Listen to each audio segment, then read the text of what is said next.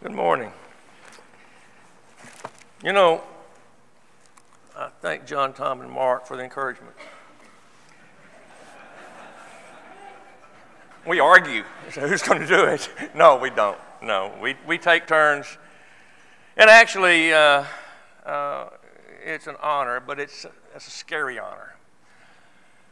And as I was trying to determine what I was going to talk about, uh, that's really difficult. What you want to do is you want to give somebody something that they can take through to the new year and kind of help them progress in their spiritual growth.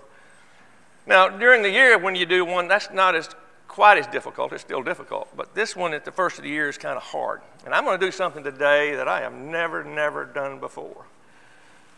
Uh, and it's two parts. And the first part is I, am going to kind of review what we've heard from this pulpit this past year. So, not all these words are my words. We've had six speakers from out of this area come to us and present 24 different lessons. We've had 92 lessons from these two men right here, Russ and Devin. And I'm sure there was someone else, I couldn't remember anybody else that, that, that, preached during the year, but I'm sure there were someone up here, somebody else of the congregation came up here.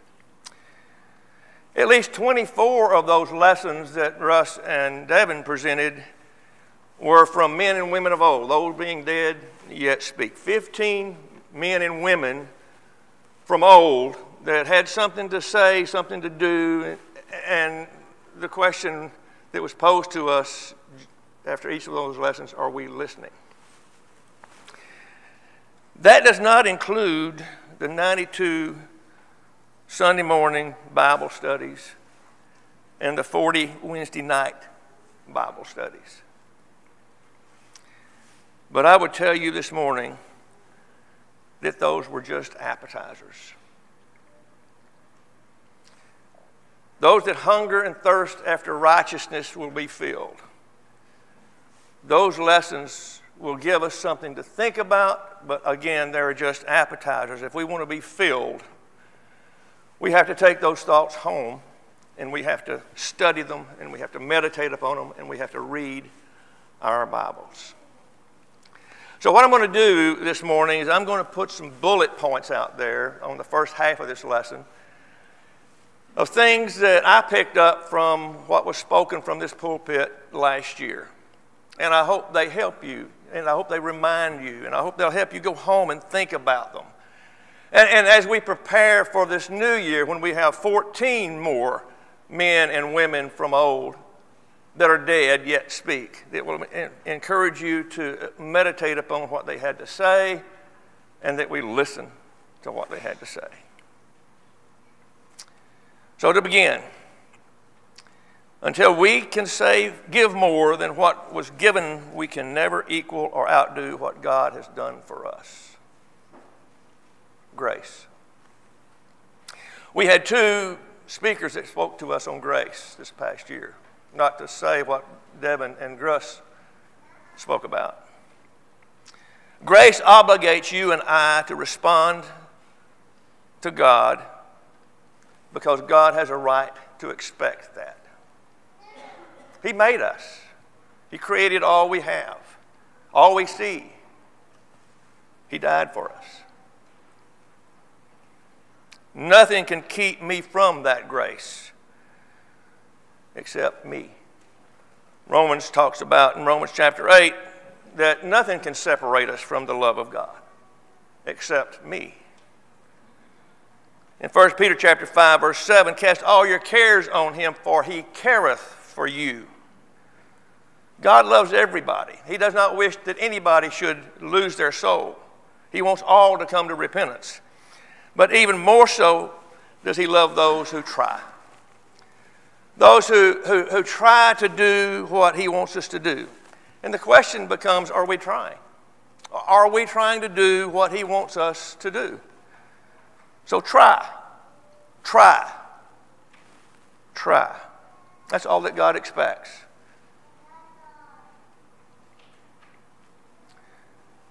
And we're condemned if we stop. That's sobering. Jesus is coming soon. Morning, night, or noon. A good song. But if we try, quit trying, we're condemned. Walk in the light. Confess your sins, and He is just to forgive those sins. That's trying. We're going to mess up. We're going to have problems. There's going to be distractions. But those men of old talked about some of those things, which we're going to get into. Russ and Devin talked about those things, uh, which we're going to get into. Those six men that came here talked about some of those things, which we're going to talk about.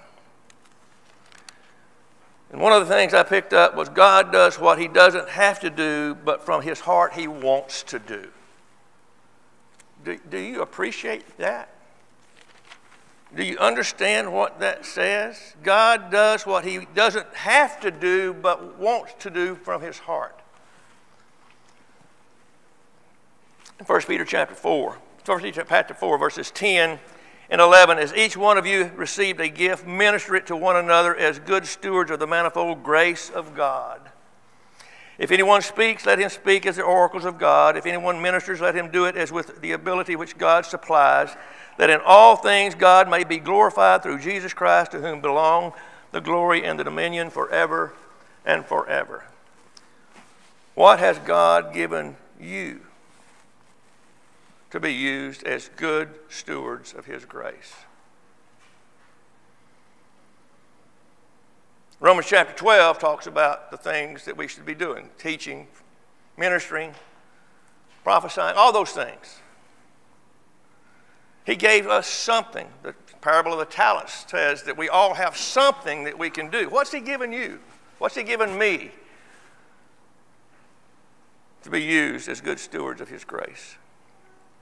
But one thing He gave us all He gave us the gospel. He gave us a way back to Him because we've all sinned and come short, Romans chapter 3. So He gave us the gospel, a way to come back, way to be reconciled now, the question becomes are we going to give it to those who have not yet heard it? We've talked about evangelism all year long. That's a key. God gave us something to take care of us. Are we going to give it to others? He expects us to.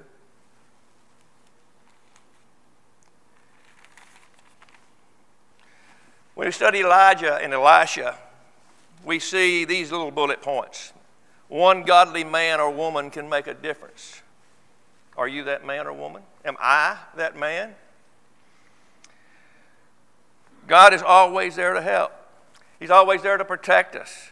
So we need to appreciate what God can do. So go serve, go work, go defend the truth, go be faithful, go resist the devil, go further the work of God. That all came from the sermons from these two men and from the book. We all face problems. We all have issues that are going to confront us, things that discourage us. But one thing I wrote down, I believe it's in one of Russ's sermons, and I, I, this is not a quote verbatim, but, but I used this for a young lady that came to me, and she said she was struggling, her and her husband, and I told her that, and she asked me if Job said it. I said, no, no, it was, it's just something that you can pick up from studying God's Word. And that is confident faith looks at bad circumstances and says, God is on his throne. He is in control. And as the book of Revelations tells us, he wins. So, I will come through what I'm going through now because my home's in heaven. It's not about here, it's about there. So I'm fixing to go to work for the Lord. Write that down and put it on your dashboard of your car, on your refrigerator. I will come through anything because it's not about here, it's about there. Then Esther, when we, we, we studied about Esther, the circumstances of life does not determine who we are or what God may have planned for us. Have you thought about and reflected on your own life and what God's done for you? How God has kind of guided you providentially to where you are today? I can look back and I see that. And I see the times that I have disappointed him, the times I have disappointed myself and my family, but God still loves me. And he's provided a way back to him. We need to appreciate God's people, says Esther, and show preference and honor to God's people. We have a family here. We need each other. She would also say, Stand up and be courageous. Don't back down. She went before that king knowing she could die. And that's the things Esther said to us. Are we listening? Then John the Baptist. And I didn't take all of them. Please understand, we're not going to spend all 15 of them here. We're going to just do a few. The parents told him as a child what was expected of him, but he had to make the choice to do what God expected. He wasn't forced to do what he did, he did it because he chose to. Now, the key is the lesson we need to get from that is do we listen or do we tell our kids what God expects of them? Do we tell them that the choice that they make has eternal consequences? But John the Baptist also, you know, he had a great following of people. Vast numbers of people came to him. There was a temptation of pride there. But John knew his place. He was humble. We need to decide we are not anything special. We are only a servant of our God. John would say to us, Behold the Lamb of God who takes away the sins of the world. And Peter, Peter is my favorite one because I identify with Peter much more than John the Baptist or Esther, but I identify with, I think we all do. The first thing he would say was we need to be honest with the evidence that God has given us. Peter saw evidence that could not be denied. We have the same evidence. Peter tells us in 2 Peter chapter 1 verse 19 we have the prophetic word confirmed. We see everything that's happened since the beginning of time all the way through the end of Revelation. That's what this book is about. We see everything that happened, and we see testimony to the effect that it was true. John said it, God said it. What are we going to do with it? You're going to have to stand up and stand out, Peter said. He said, Gird up your loins, brace yourself for what's coming what you're going to face. Peter said, Be holy. Be holy. Get ready. Why? Because you were redeemed by the precious blood of the Son of God. Peter also said, and this is the main thing that I picked up from that. You are defined, you, we are defined by our response to Jesus, not by our mistakes. And I thank God for that. You need to thank God for that because we all mess up. We're not perfect, but we must press on to perfection. Apollos. Not everyone can do the same thing. You remember that story. Speak your conviction, know it.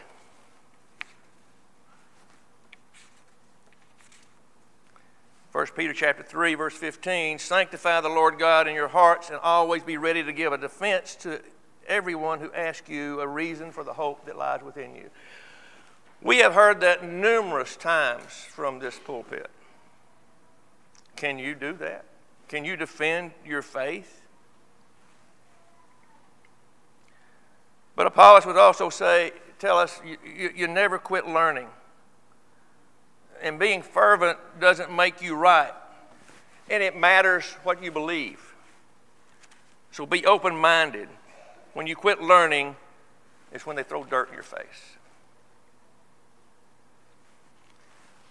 And some of the best, not the best, but some of the really, really good lessons we had too was from Jacob. Uh, Hudgens, remember the, the, the lessons from Psalms? Serving God is about coming back to Him after I've messed up.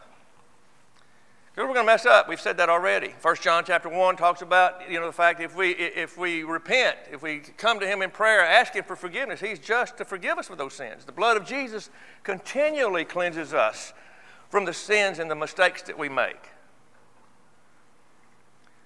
Also, from that study, we saw, I saw, don't forget what is like, it's like to be broken. We've all been broken. We're still broken. We're being fixed, but we're still broken. But there are people out there that are broken. And what are we doing to help them get fixed? And, and, and, and the one that really stood out to me was fill me with fire where I once burned with shame. Sin is shameful, it's deceitful, Hebrew chapter 3 tells us. And it separates us from our God, Isaiah 59, chapters one, uh, verses 1 and 2. So fill me with the fire where I once burned with shame. Fire to tell everybody about what Jesus has done for them. God always provides room for me with new hope. God has filled my life with good. There is good in my life because God put good here on this earth. And He wants us to enjoy it. Solomon talked about that. But it's not the end all be all.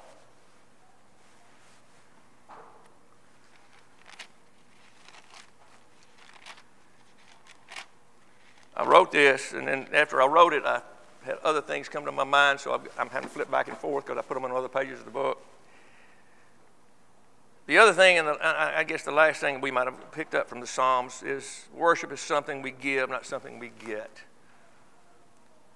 We give our worship to our God because He's deserving of that worship, because of what He's done for each of us and what He continues to do for each of us. And then just a few weeks ago, or maybe a month or so ago, Nehemiah and, and the building of the wall. He prayed. And he would tell us, pray for this congregation. Pray for the work that we have to do that's before us in 2024. Focus on the work. Face the obstacles that you're going to face. And don't get distracted. We're all going to have distractions illness, jobs, financial burdens and uh, responsibilities or, or struggles our kids and their activities, they all distract us. But Nehemiah would tell us be determined, start working on the wall. God has a will and has made it possible for me to know that will. Are we going to accept it or reject it? Whose will am I seeking? God reigns. Are we going to bow before Him? Jesus is our King. Devin is always calling him King Jesus. And that's what he is. He bears the name of God. Yet, the studies we've had in Philippians chapter 2, he emptied himself. If so, how much more should we empty ourselves? And serve one another. Take on the servant mentality. How we view difficulties in this world needs to be seen with eternal perspective. Don't listen to the words or to the wrong voices. The words are the wrong voices. Don't make it about you, make it about God. In 1 Corinthians chapter 5, verses 9 through 11, therefore we we make it our aim, whether present or absent, to be well pleasing to Him, for we must all appear before the judgment seat of Christ, that each one may receive the things done in the body according to what he has done, whether good or bad, knowing therefore the terror of the Lord, we persuade men. Well, are we telling them anything? Are we telling them that Christ is coming? That resurrection is coming? That change is coming, 1 Corinthians 15. That victory is coming, Revelation chapter 22. We can know that if we die, heaven is ours, not because we have done everything perfectly, but because Jesus has paid the price for us. I'm not justified because I am perfect. It's because of who God is. How am I going to accept that? How am I going to respond to what God has done for me? Mary and Martha, don't get distracted again. Uh, spiritual things are more important than temporal things. Real faith is a confident faith. You either trust or you don't. It needs to be none but in God, our trust. And trust in God is a choice that we make based on the evidence that we're given. And this one came from one of the lessons that I think Russ presented. Listen to God's word. Only way that we're going to grow is if I, may, if I become more familiar with that word. What does that tell us? We get 92 lessons up here, we get 24 from us outside, we get Bible study. That's not enough. Read your Bible. Going forth in 2024, make that number one. Read your Bible. For the, book to, for the body to be successful, the whole body has to be intact. What am I doing or what am I supplying to this group of people? We all have something we can do. We need strong, and this came from Devin. We need strong resolve to stick to his word, never budge. We must be unshakable and the book doesn't change because God, the author of it, never changes. The sacrifice of Jesus is important because life is short, death is sure, and judgment is coming. We need Jesus. It's appointed that a man wants to die, and after that, the judgment. The question becomes are we ready? If we're not, we need to get ready because, as the song said, morning or night or noon, we don't know when. He didn't know when. Only the Father knew. So these are just a few of the things that, that, that, that, that stuck out to me. There were a lot more, and we could spend hour here talking about all the other things. Now, allow as we face a, a, a new year, we're going to hear from, as I've already mentioned, 14 more. Uh, they being dead uh, yet speak. And we're going to have six more men come in from out of the area that are going to speak to us with 24 different lessons on different subjects. We're going to have Russ and, and Devin and possibly somebody else in the congregation that presents some 92 more lessons from God's Word. We're going to have our Bible studies in our, our uh, here and in the back. Uh, the question becomes what are we going to do with all that? we're going to get the appetizer. We're going to give it to you. The elders will make sure that we are fed or we're going to get the, the right things to build on. But it can't stay there. So, what are we going to do? How are we going to, to, to go into 2024 and, and, and make ourselves better? Each year we all have New Year's resolutions. Uh, we all make them. Then, after a month or so, maybe not even that long sometimes, uh, we forget them, or, or we just let them go away. We vacate them. With the time left, I, I, I would like to suggest some things that we do every day. Not, not, not long term goals that, that we struggle with to keep focused in our minds, but something that we do every day to help us be better spiritually in, in 2024. the main thing is li- listen, listen, listen to those of old. Research what they have said, study it, meditate upon it, and build on it.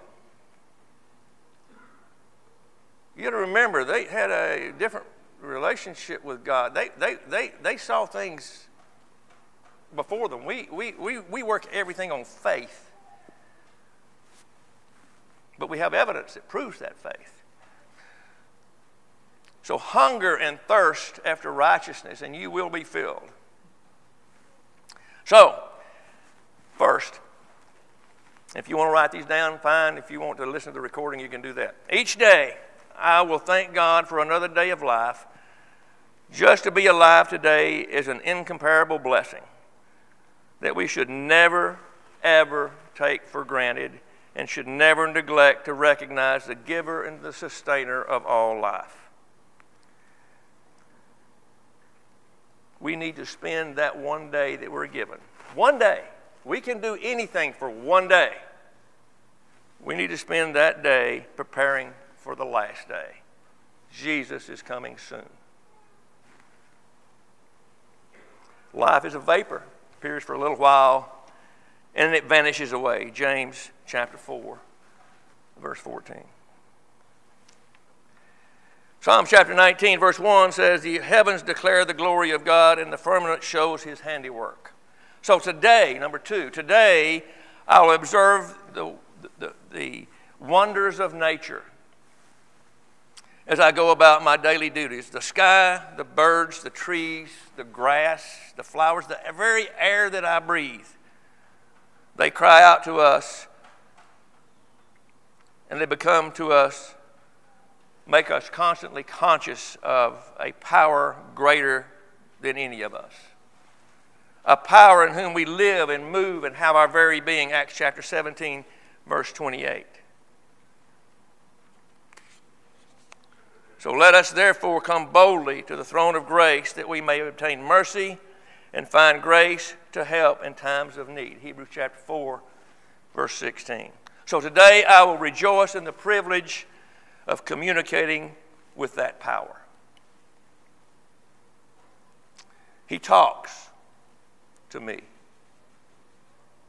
not in some whispering voice, not in some dream. He talks to me through the Word, through His book, through His Word that He left for us. And I talk to Him in prayer. And I have the privilege to. And we need to imagine the creator of the uh, universe, the, the, the power that, that, that maintains everything in its order. We have a relationship with and we can talk to. We can simply lift up our hearts to Him and talk to Him anytime, anywhere, and He hears us. And we mentioned Wednesday night when we were talking about the introduction to Hebrews. He hears us, but it doesn't necessarily mean He gives us the answer we want, but you can be assured that He hears us. So today I am going to talk with Him via prayer, and I'm going to let Him talk to me via the Bible. Every day, one day, we can do that. Today, number four, I will live the prayer of the psalmist, Psalms chapter 19, verse, 20, uh, verse 14. Let the words of my mouth and the meditation of my heart be acceptable in thy sight, O Lord, my strength and my redeemer. So, I will take time to examine my priorities, remembering what my Savior told me in Matthew chapter 6 uh, seek first the kingdom of heaven and his righteousness.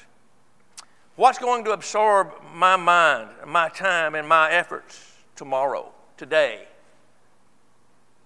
Will I lay up treasures in heaven or will I chase the elusive treasures of life? Matthew chapter 6, verses 19 through 21. And number five, today I will be aware that every person I see is a never dying soul who will spend eternity somewhere. Will I think souls? People are searching. Will I help them to find? We have what they need. Are we going to share it? Jesus said in John chapter 4, verse 35, Lift up your eyes and look at the fields. They are already white to harvest. That's what's out there right now. The, the fields are white to har- harvest. People are looking, people are searching, and we have what they need.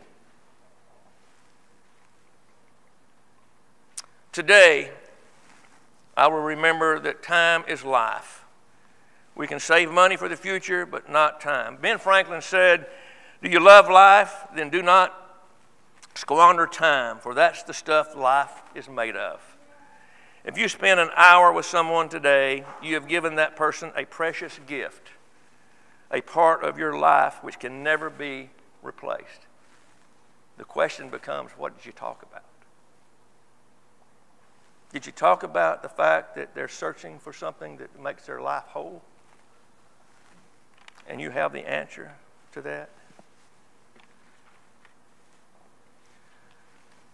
Ephesians chapter 5, verses 15 through 17. See then that you walk circumspectly, not as fools, but as wise, redeeming the time, taking every opportunity of the time that you're given, because the days are evil.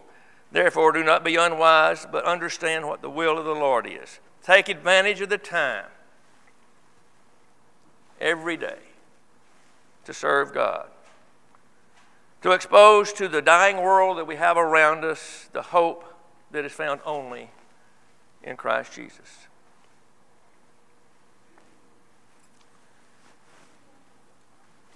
Again, life's a vapor, here for a while and gone. Each day we can do something. And in conjunction with that, today I will remember that God's work is done through us. We are his ambassadors. We are commissioned to work for a while in this world, and if we don't do the work, it won't get done. Not that God doesn't have the power to get it done, but his, his, his book clearly points out that that's his plan that we are to produce fruit, that we are to follow in the steps of Jesus. We are to use him as our example.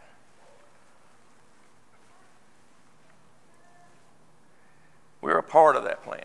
And in Matthew 28, in the Great Commission, that's not only to the apostles, that's to us. Going to all the world, preach the gospel, teaching them what, you, what I've, I've told you, guiding them in the, the ways they need to go. So today I will keep in mind that my Savior has laid upon me the responsibility and the privilege of being light in the world, in a world of spiritual darkness. Matthew chapter 5, verses 14 and 16. You're the light of the world, salt of the earth. So to be light in the world requires that we be different from what we see around us. And I will remember that I, know, I allow Christ to be, when I allow Christ to be the only significant person in my life, my example, my intercessor, my Savior, then I will deny myself and I will take up my cross and I will follow him. Matthew chapter 16, verse 24. Knowing that he says in Matthew 28, Lo, I am with you always even to the end of the world. He is with us every day of our lives. So I will arm myself with the weapons He has given me, Ephesians chapter 6, the whole armor of God, and I will go out every day and do these things. Every day, one day. Number seven, today I will work, I, I will speak a word of encouragement to lift some weary heart most people out there are fighting, as we've already mentioned, uphill battles, and a lot of them are losing. They need the sympathetic touch of somebody who cares about them. Jesus came to seek those, or to save those who were sick, the lost, to seek and save the lost. And he, that is our charge to seek and save those that are lost, those who are fighting these battles, to help them get through these battles. So I will use my hardships and my heartaches to promote spiritual growth in myself and help others get through their problems also. 2 Corinthians chapter 1 verse 4 tells us that God of all comfort has comforted us. And he's given that so we can go out into the world and comfort those who need comfort by the comfort that God has given us. And James chapter 1 talks about the trials of this life producing in us patience, being a blessing, really. We need to take those things and we need to use those to, to, to tell the world about us where relief is.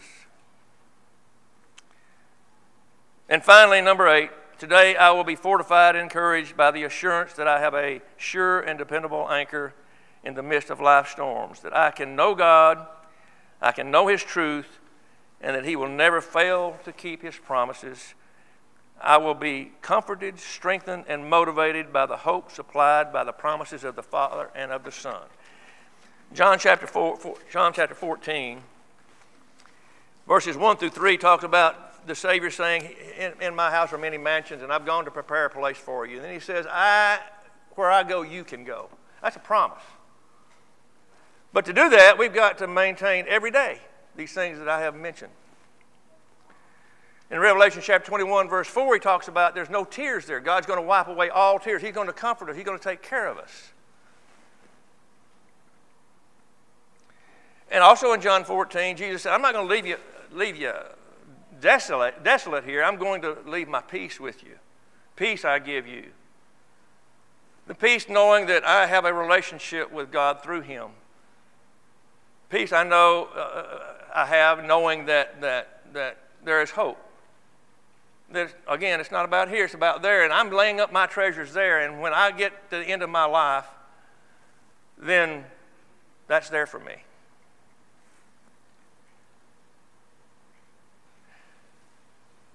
I had an opportunity the other day to play pickleball. and my wife, for some reason, recorded that. But you know what it did to me? It made me realize I'm 77 years old. I never thought about that. But I'm on the back end of my life. And if I could encourage anybody here, I would tell you don't waste your time. Don't waste it. I look back now at what God has done for me and how He has blessed me, and I look at the times that I have disappointed Him so badly and wonder why do you care about me? But He does. So, going forward in 2024, I'm going to keep uppermost in my mind the words of wisdom by Solomon that was our scripture reading. Let us hear the conclusion of the whole matter. Fear God, keep his commandments, for this is the whole duty of man.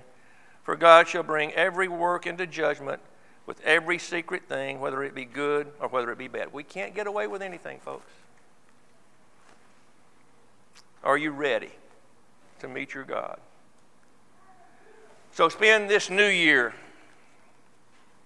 getting ready one day at a time, and you'll be successful. If you have a need, would you come as we stand and sing?